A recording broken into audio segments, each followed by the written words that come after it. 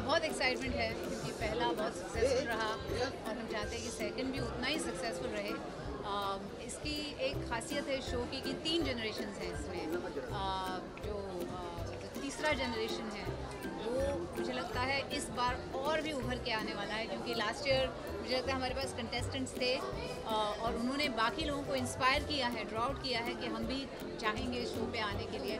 इसलिए हमारे इतने सारे चॉइसेस हैं for third generation which is amazing for जी हमारी आ, आ, कोशिश ये रहेगी कि जो अच्छी चीज़ें थी सीज़न वन की उसे हम कंटिन्यू करें। डांस दीवाने जो जेनरेशन थ्री आई थिंक जो सबसे यूनिक बात थी कि जेनरेशन थ्री जो था, डांस दीवाने पे कलर्स पे, वो बहुत कनेक्ट किया लोगों से। और हमारे को भी आई थिंक हम सबको इंडिविजुअली जब भी हम कहीं जाते थे तो लोग आके बोलते थे कि हमारी कुछ तमन्नाएँ थी जो पूरी नहीं हो पाई।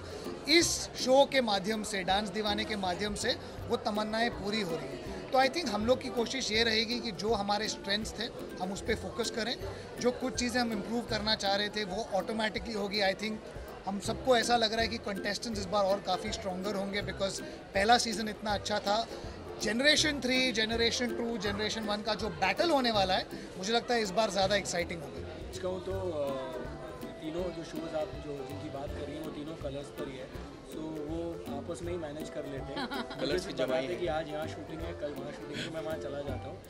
कमिंग टू डांस दीवाने आई थिंक हम सब बहुत एक्साइटेड हैं क्योंकि सीज़न टू आ रहा है।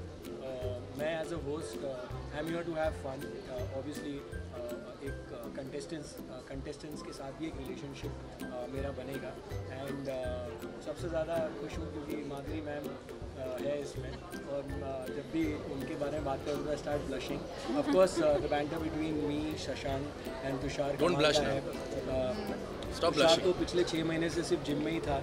और वर्कआउट ही ये किचन चैंपियन है, ये जिम चैंपियन है। के बीच जाता है कपड़े उतारता है और बड़े बड़े एप्स बनाए उसने। तो आपको वो सब भी देखने मिलेगा। शशांक बहुत अच्छा शशांक के एप्स नहीं देखने मिलेंगे। हाँ, वो आपको सीज़न फोर में देखने मिलेगा।